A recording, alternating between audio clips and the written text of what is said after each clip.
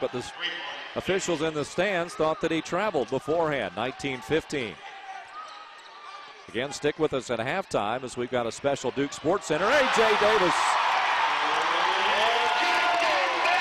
with a Sports Center highlight right there as timeout called by Billy Humes.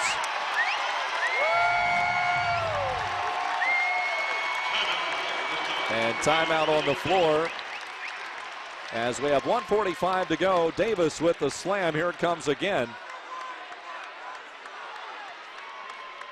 1917, Old Dominion leading back with more. You're watching JMU men's basketball.